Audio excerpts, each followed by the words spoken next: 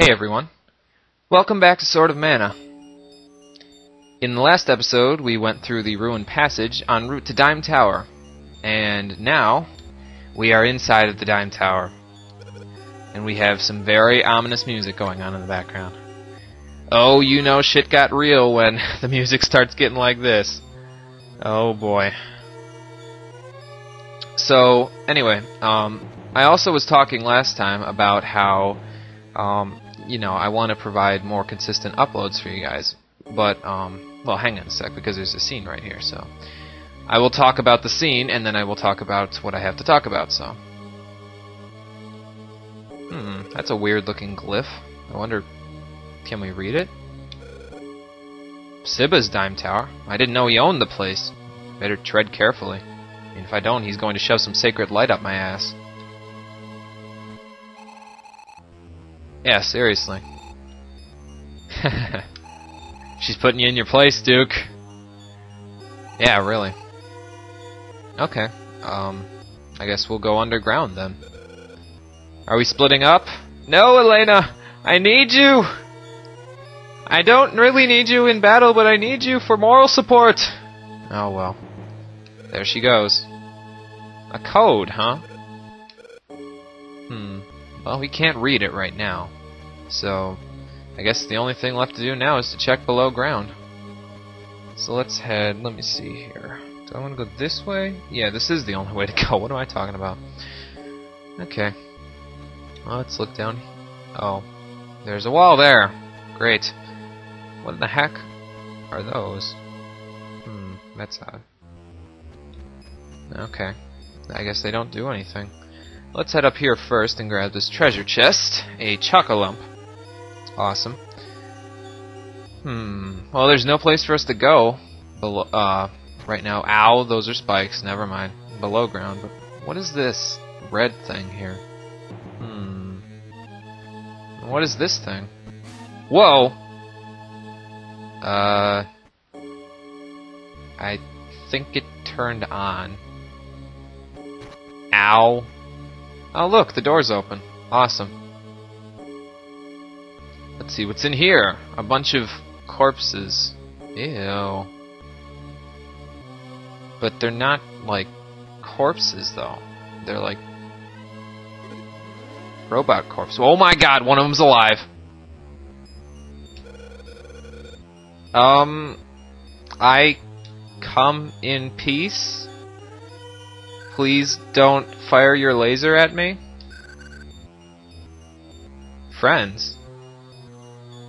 Um, yeah, yes, yes, friends, friends. I'm your friend. I'm not an enemy. Please don't vaporize me.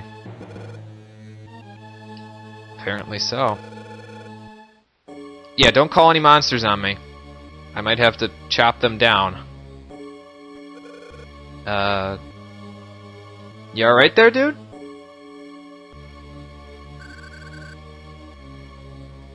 Alone? Oh, wow. Yeah, I would imagine. Nobody's been here for probably 20 years. Wow. Suddenly I feel like a very bad person for thinking he was evil. Oh no! Those are all of his friends in piles there. Apparently they stopped working a while ago. Yeah, yeah, we're friends. We both move, so we're friends. Oh, I'm I'm terribly sorry. I didn't mean it like that. Please don't kill me. Yeah, friends. It's kind of weird that he, you know, has emotions, but um, I suppose if he's a weapon, like uh, if he, since this whole place is a weapon, he might be part of it. I suppose if he's a weapon, then he relies on mana power, which gives emotion and life to all things, so. I suppose there is that. And his name is Marshall! Awesome.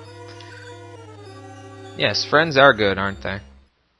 And so, we get the final new party member to join our party in the game. Marshall the Warbot. Who is, actually, my favorite partner in the entire game simply because it's Marshall. Look at that guy. He's a robot. When he runs, he uses jets on his back to run. Look at look at him. Look at him go. Look at him. He's crazy.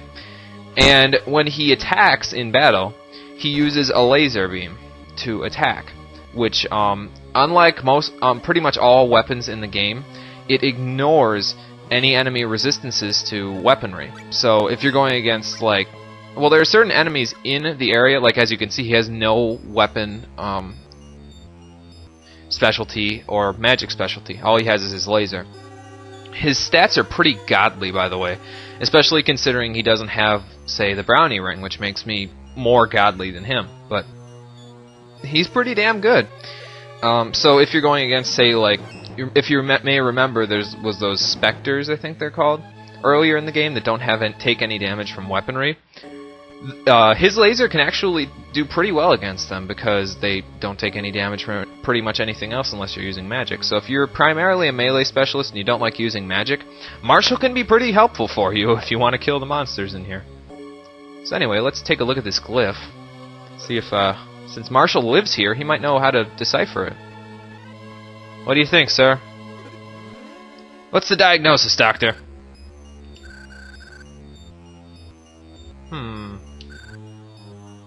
Ah, right. Basically, Dime Tower served as like a um, liaison between Sanctuary and the real world because um, Sanctuary uh, was the provider of mana power, and the real world didn't really have uh, mana power in it because all of the spirits were originally inside of Sanctuary, watching over the world.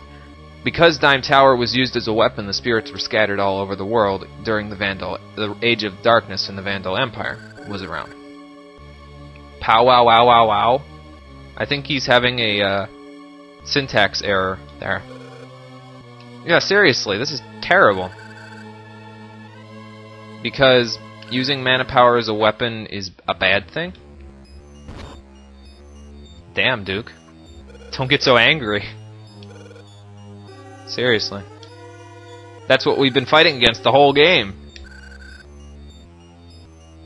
Well, I didn't say that, but this is a conundrum, isn't it? We're using a partner who relies on mana power as a weapon. But he's on our side. Isn't he? I guess we'll find out later on. So anyway, this place is a uh, pretty big maze, so I don't really want to I want to make sure that I know where I'm going before I actually go here. Um, and there's a bunch of puzzle solving in this in this mazy area as well, so that's pretty nice.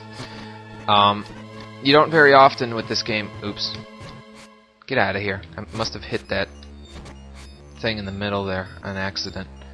Well, let's take a look at this. Oh, there's another code. What do you think, Marshall? Even though you're way over there. Okay, what does it say? A nature spirit knocks three times. Well, basically, well, basically, what you're supposed to do is this eye glyph here, and there's that red light above it. You're supposed to hit it three times, like I tried to do when I was trying to hit this guy, these Dao things. Um, and when you hit it the third time, that light will go on, and it will open the way to a new area here.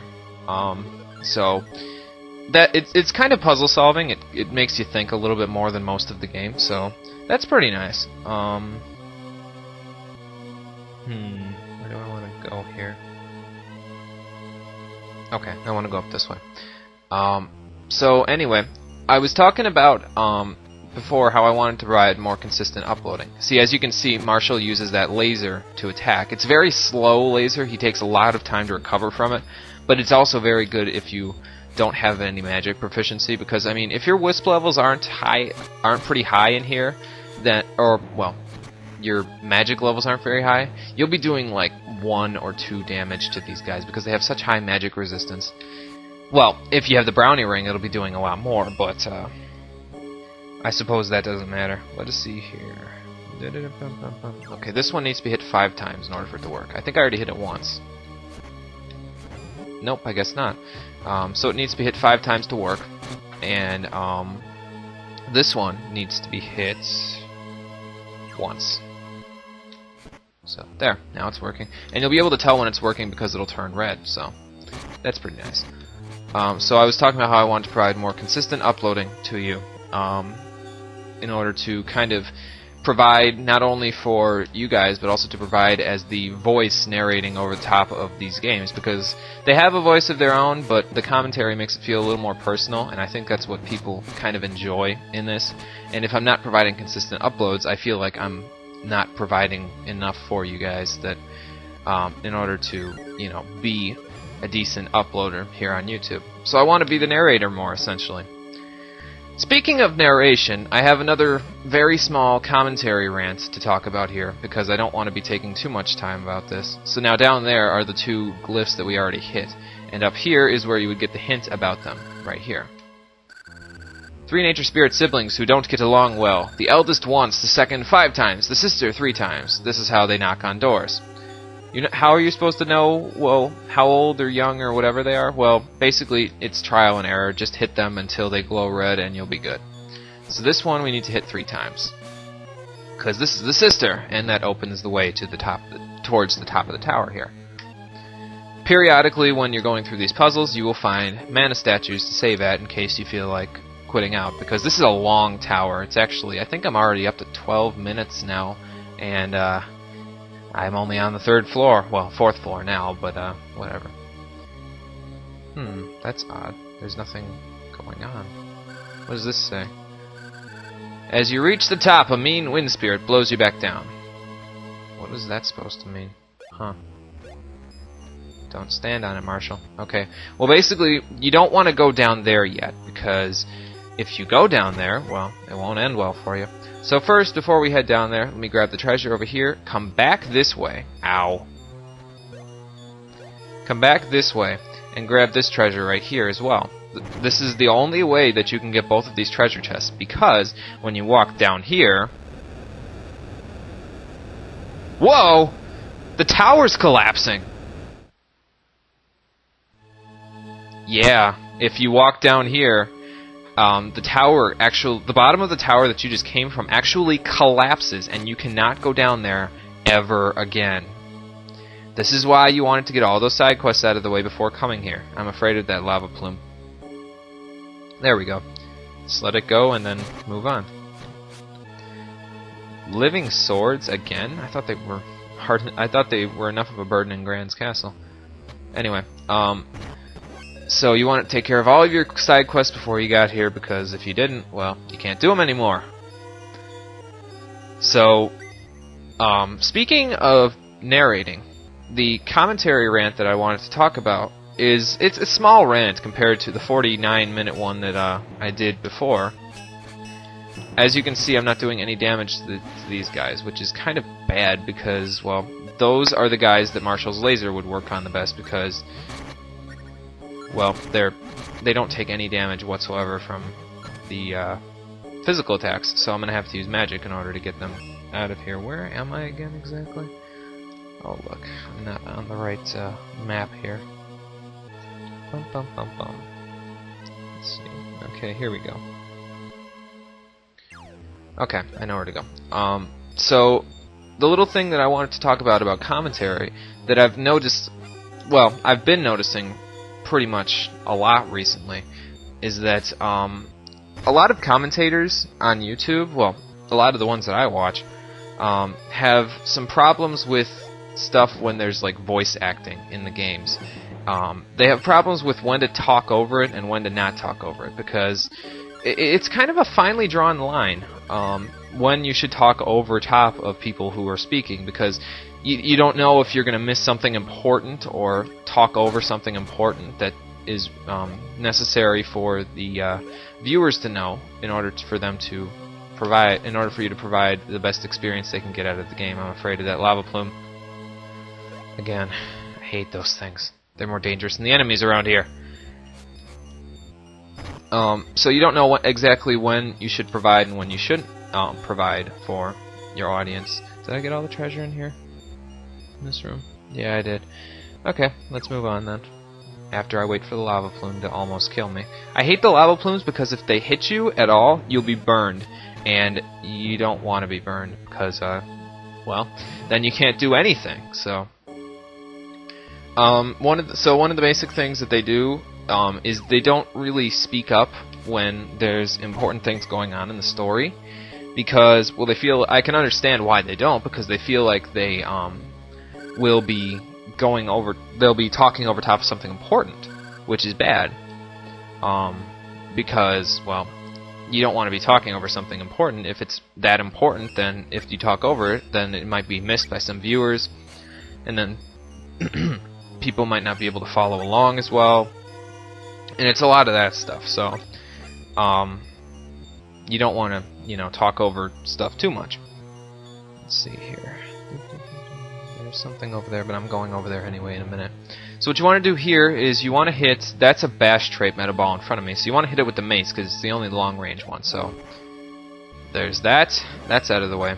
Um, and the hint tells you basically how to handle this. You hit both of them, and the door over here will open. That wasn't open before, but now it is, so